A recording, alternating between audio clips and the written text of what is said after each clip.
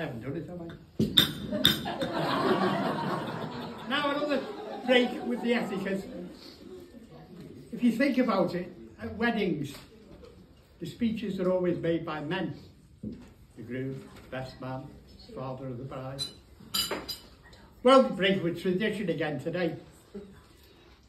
I mean, I can't say that I hold with it myself, but uh, so please give the very best of order while we hear a few words from Stacey.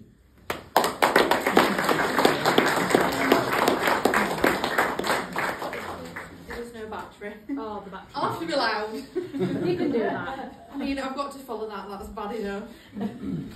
so, hi everyone. I can't say I'm the best at public speaking. I've done one line.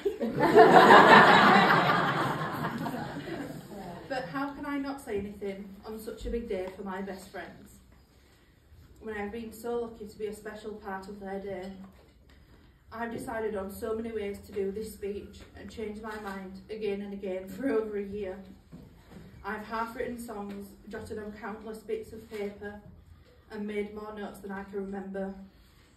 But I actually don't think it matters, because you both already know how much you mean to me. I just wanted to share how amazing you both are on your special day, and I hope this captures that. To start, can I just say, how beautiful does my bestie look?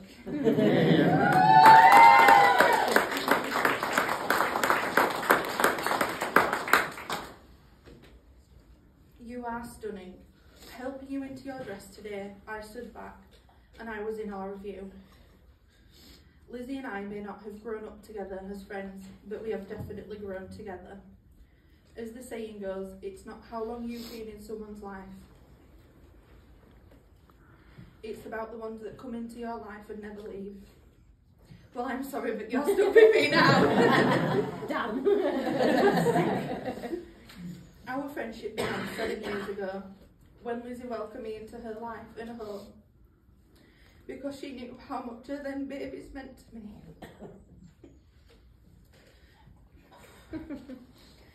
Even worse than I thought. the more time we spent together, we both realised how similar we were.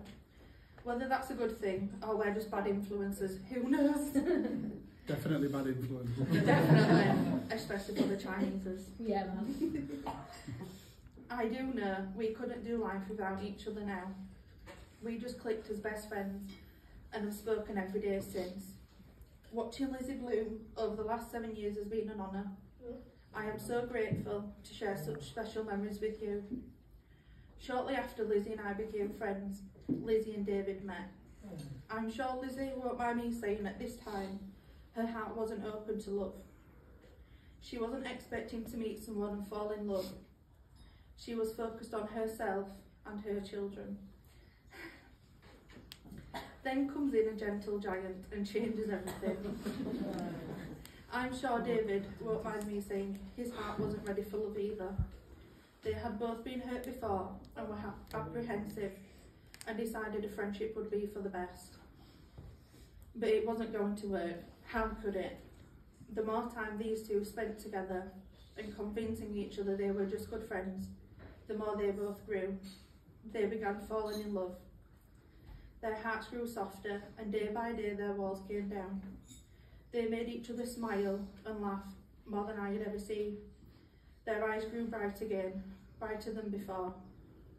They didn't have to say anything to each other, just being in the room together made each other happy. David loved how Lizzie made him love having fun again, and Lizzie loved how David made her laugh. They just quite simply are made for each other.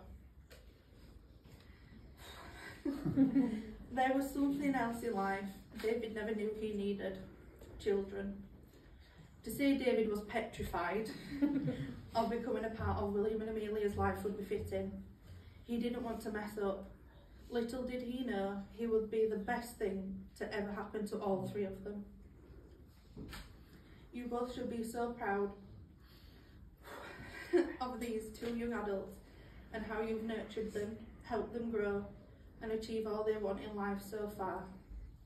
The way David goes above and beyond for his little family is so beautiful to watch. These two are genuinely the most hardworking, committed, generous, and loving people I've ever met in my life. I want you. I want to say thank you for honestly changing my life. You will never know how much you mean to me. I couldn't think of better people to have the best days out with, to carpool karaoke with, to go to the theatre with, double date with, to find the best restaurants and of course cocktails, and just sit on the sofa putting the world to rights. The word family has multiple definitions. For me, I think family is somewhere you feel at home, with people who make you feel loved, blessed, and want nothing but the best for you. That is what Lizzie, David, William, and Amelia are to me. All four of you, I love you all. to sum it up, Lizzie, I hope David continues to crack you up. And David, I hope checking Lizzie's butt out never gets old. May you both have a marriage full of laughter, happiness, joy, and most of all love. Because if anyone deserves it, it's you two. To the riding groom. Oh, thank you. Thank you. Before I finish, I've got a little secret too. Amelia, I think you can do it. No. do you want me to read it for you? Do you want to stand with me? Are you alright? So Amelia actually, re- I've got to read this now. What would I do? Amelia read this on her own. Oh, I'll read it instead. I just wanted to say a few things for my mum and David. I want to thank you, mum, for looking after me, cooking for us, and being there for me.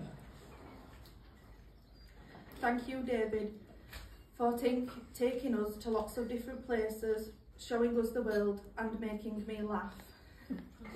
When you both, when you're both together, I see how much you love each other and how much you need each other. When we are all together, I feel happy and love that we're together. You two getting married means we're a family forever.